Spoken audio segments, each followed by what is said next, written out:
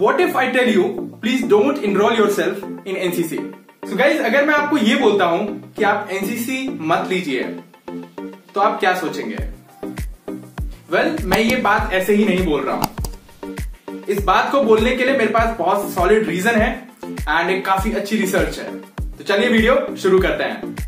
This video is sponsored by Defense Fleet Defense Fleet provides different types of solutions to SSP aspirants and defense aspirants, mentorship, digital programs and other things. For more information, check out the link in the description box or the first pinned comment. Video start करने से पहले अगर आपने अभी तक इस channel को subscribe नहीं किया है तो रेड बटन पर दबाकर इस चैनल को सब्सक्राइब कर लीजिए तो उस क्वेश्चन पे आने से पहले हमको एक चीज़ समझनी पड़ेगी कि एनसीसी का स्ट्रेंथ कितना है एंड हर साल एनसीसी में कितने बच्चे या कितने कैडेट्स इनरोल होते हैं? तो अभी प्रेजेंट जो एनसीसी का स्ट्रेंथ है, वो नियरली 1.38 मिलियन के आसपास है। मतलब लगभग साढ़े तेरह से चौदह लाख के बीच में कैडेट्स हैं। एनसीसी में हर साल कितने कैडेट्स इनरोल होते हैं? क्या आपको ये पता है? तो सपोज़ हम एक कंपनी की बात करते हैं। एक कंपनी में जो एनसीसी का, जो आर्मी विंग का कंपनी होता है, उसमें 107 कैडेट्स हैं। तो हर साल सपोज़ दैट इस साल हमारे कॉलेज में 52 क्रेडिट्स की वैकेंसी है in first year okay and 52 credits का जो वैकेंसी है वो फ़र्स्ट ईयर में है. तो 52 क्रेडिट्स प्रमोट होंगे सेकेंड ईयर में देन वो 52 थर्ड ईयर में. बट क्या एक्चुअल में ऐसा होता है? क्या ग्राउंड रियलिटी है ये? ऐसा नहीं है. अगर 52 कैरेट्स फ़र्स्ट ईयर में इनरोल हो रहे हैं तो वो 52 सेकेंड ईयर में नहीं पहुँचते हैं. रीजन ये है कि एनसीसी का ड्रॉप आउट रेशियो या फिर ड्रॉप आउट परसेंटेज बहुत ज़्यादा है। कैडेट्स एनसीसी ले तो लेते हैं जोश जोश में बट फिर वो कंटिन्यू नहीं करना चाहते हैं। तो एक जो हमने सर्वे किया था, उसके अकॉर्डिंग अगर एक कंपनी है 52 कैडेट्स उसमें फ़र्स्ट ईयर में इनरोल होते हैं एंड 52 में से सिर्फ़ 35 कैडेट्स ही सेकेंड ईयर तक प्रमोट हो पाते हैं। लाइक पी सर्टिफिकेट का एग्ज़ाम दे पाते हैं। एंड जो जब बी सर्टिफिकेट का एग्ज़ाम देते हैं तो उसमें से काफ़ी सारे कुछ कैडेट्स एक, एक दो फेल हो जाते हैं या फिर फिर से कुछ ड्रॉप आउट कर लेते हैं। एनसीसी को ड्रॉप कर देता है। देन लास्ट में मतलब सी सर्टिफिकेट देने के लिए सिर्फ़ 10 से 15 कैरेट्स बचता है। तो स्टार्टिंग में 52 थे लास्ट में 10 या 12 हो गए। तो अप्रॉक्स 40 कैरेट्स ने एनसीसी ड्रॉप कर दिया। अब इसका लॉस किसको हुआ? इसका लॉस सबको हुआ सबको। इसका लॉस उन बच्चों को भी हुआ जो एनसीसी रियलिटी में करना चाहते थे अपने बटालियन में या फिर अपने कॉलेज में बट उनको एनसीसी नहीं मिल पाई।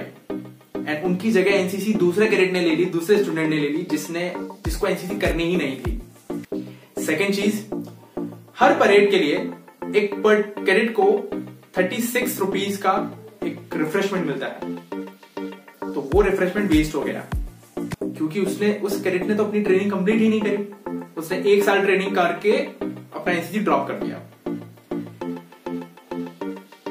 थर्ड चीज़ बटालियन का जो पीएच स्टाफ है, उन्होंने उस पर्टिकुलर एक कैडेट के ऊपर कितना मेहनत करी होगी उस एक साल की ट्रेनिंग में पीरियड में। वो वेस्ट हो गई एंड गवर्नमेंट कितना एक्सपेंडिचर स्पेंड एंड गवर्नमेंट कितने सारे पैसे स्पेंड करती है इन ट्रेनिंग्स के ऊपर, वो सारा खत्म हो गया। उस पर्टिकुलर कैडेट को यूनिफॉर्म्स मिले, उसके लिए उसके लिए कपड़ा आया, वो वेस्ट हो गया, क्योंकि उसने अपनी ट्रेनिंग कंप्लीट ही नहीं करी। एनसीसी का मोटिव ये नहीं है कि आपको एक साल का ट्रेनिंग दे दिया जाए एंड आपको भगा दिया जाए। एनसीसी का मोटिव है आपको कंप्लीट तीस साल का ट्रेनिंग दिया जाए ताकि आप उसका कहीं ना कहीं बेनिफिट ले पाए। जो भी कैडेट्स एक साल का ट्रेनिंग करके एनसीसी को ड्रॉप कर देते हैं, वो ना तो इधर के रहते हैं, ना उधर के रहते हैं। वो बस ये करते हैं, वो दूसरे जो कैडेट्स हैं, उनकी सीट खराब कर देते हैं। सपोज़ दैट यार, अगर मुझे एनसीसी करनी ही नहीं तो मैंने ली क्यों थी? इसीलिए मैं आपको स्टार्टिंग में बोल रहा था कि एनसीसी मत लो। तो अगर आपको एनसीसी करनी है, तभी आपको एनसीसी लेना है। करने का मतलब है तीन साल करना है।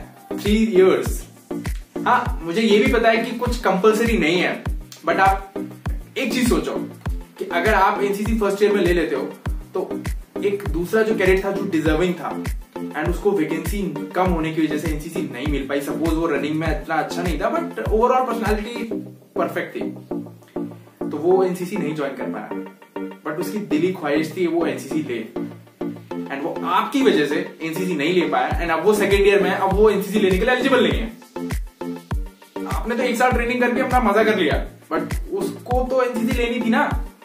इसलिए मैं आपको सजेस्ट कर रहा हूँ एनसीसी मत लो। जितने कैडेट्स हैं, उतने ही अच्छे हैं। आप एक्स्ट्रा की ज़रूरत नहीं है। जो कैडेट्स कंटिन्यू नहीं कर सकते, उनकी एनसीसी में कोई ज़रूरत नहीं है। कोई ज़रूरत नहीं है। क्योंकि वही कैडेट्स आगे जाके फिर एनसीसी के बारे में उल्टी सीधी चीज़ें सजेस्ट करते हैं कि NCC is a waste of time NCC में हमने तो कुछ नहीं सीखा।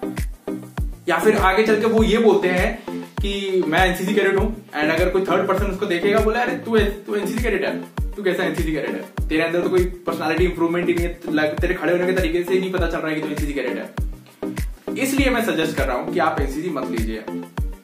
एंड आप इस बारे में क्या सोचते हो प्लीज़ कमेंट बॉक्स में ज़रूर बताना। एंड ऐसे वीडियोस देखने के लिए आप इस चैनल को सब्सक्राइब कर सकते हो। मिलते हैं फिर एक नेक्स्ट वीडियो में। Bye bye